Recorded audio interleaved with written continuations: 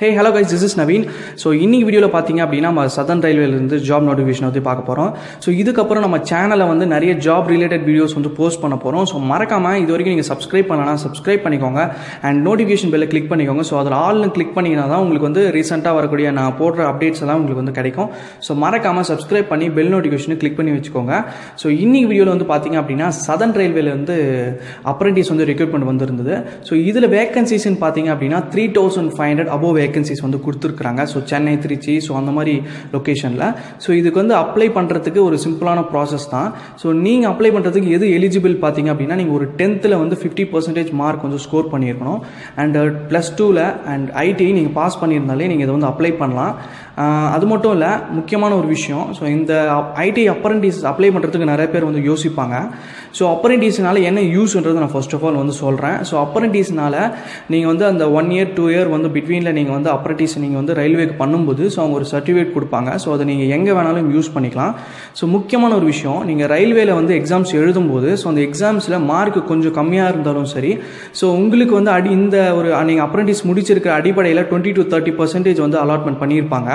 So அந்த அலாட்மெண்ட்டில் நீங்கள் உங்களை ஸ்கோரை வச்சு உங்களை வந்து எடுத்துப்பாங்க. ஸோ அதாவது நீங்கள் வந்து எக்ஸாம்ஸில் நல்ல பர்ஃபார்மன்ஸ் பண்ணல அப்படின்னாலும் ஸோ உங்களுடைய இந்த கோட்டாவில் வந்து உங்களை வந்து எடுக்கிறதுக்கான சான்சஸ் இருக்குது ஓகே இப்போ அப்ளை பண்ணுறதுக்கு என்ன எலிஜிபிள் அப்படின்றத நம்ம பார்க்கலாம். ஸோ நீங்கள் டென்த்து பாஸ் பண்ணி அதில் வந்து ஃபிஃப்டி பர்சன்டேஜ் மார்க் வந்து எடுத்துருக்கணும்.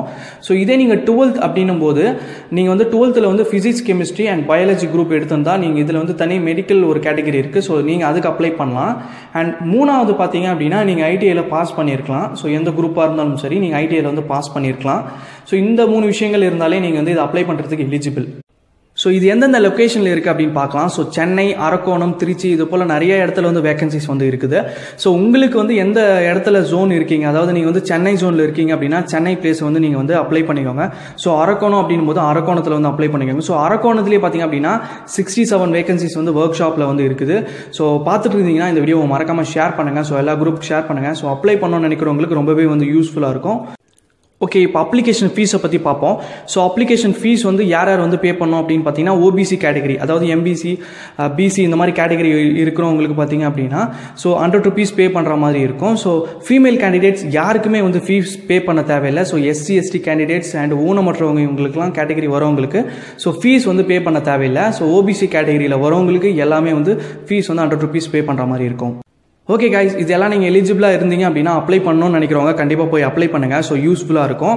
ஸோ முக்கியமான ஒரு விஷயம் நான் சொல்கிறேன் ஸோ இந்த uh, அப்ரண்டிஸ் பண்ணுறதன் மூலிமா அவங்களுக்கு டேரக்ட் ரெக்ரூட்மெண்ட் வந்து தேவைப்பட்டுச்சு அப்படின்னா டுவெண்ட்டி பர்சன்டேஜ் ஆஃப் கேண்டிடேட்ஸை வந்து நாங்கள் வந்து எடுக்க போகிறோம் அப்படின்னு வந்து சொல்கிறாங்க ஸோ என்ன போஸ்ட்டுக்கு அப்படின்னு பார்த்தீங்கன்னா லெவல் ஒன் போஸ்ட்டுக்கு வந்து ஆர்ஆர்சியில் வந்து எடுக்க போகிறாங்க அதாவது ரயில்வேல ஸோ அவங்களுக்கு தேவைப்பட்ட டுவெண்ட்டி பர்சன்டேஜ் ஆஃப் வேகன்சிஸ் வந்து எடுக்க போகிறாங்க இந்த அப்ரண்டிஸ் முடித்தவங்களை பட் எல்லாருக்குமே வந்து அப்ரண்டிஸ் முடிச்சவங்களுக்கு ஹண்ட்ரட் பர்சன்டேஜ் நாங்கள் கேரண்டியாக ஜாப் கொடுப்போமா அப்படின்னா கிடையாது. ஸோ இது வந்து ஒரு கான்ட்ராக்ட் பேஸில் தான் எடுத்து எடுக்கிறாங்க.